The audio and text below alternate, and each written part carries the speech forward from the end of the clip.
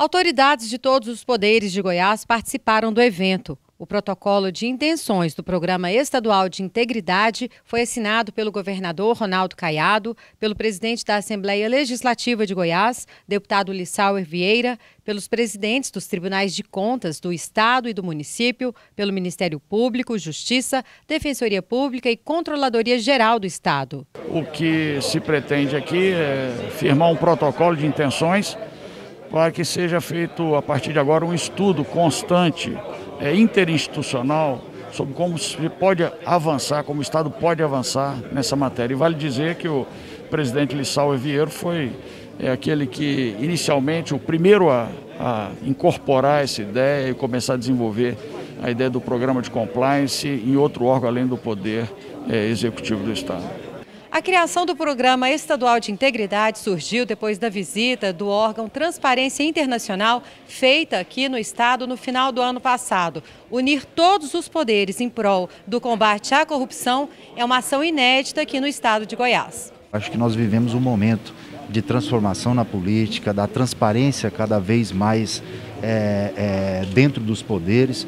E o governador Ronaldo Caiado, juntamente com os poderes, órgãos auxiliares e órgãos autônomos, vem trabalhando isso ao longo desses quase dois anos do seu governo, colocando isso como uma das prioridades e trabalhar cada vez mais a transparência, o acompanhamento das contas públicas, não só pela população, mas é, com toda a transparência necessária para nós podermos dar as respostas devidas à sociedade. O que, que é a resposta devida à sociedade? É o dinheiro público ser aplicado aonde a sociedade exige e quer e retornar de fato em benefício para a nossa população. O programa visa instituir projetos e ações de fomento à integridade, ética e transparência no combate à corrupção.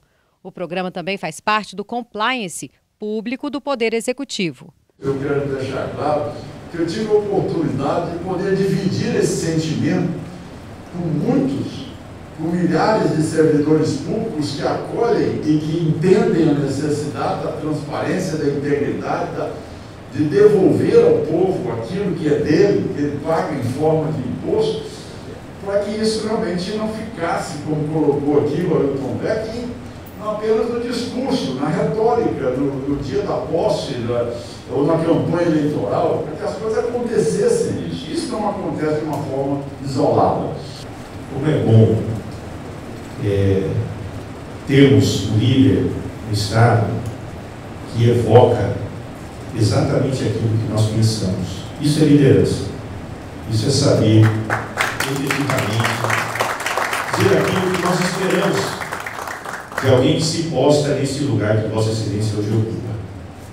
Então, quando, desde o primeiro momento em que começamos a enfrentar essa pandemia até agora, Vossa Excelência tem sido exemplo de postura de todos aqueles que, de alguma forma, encabeçam órgãos e poderes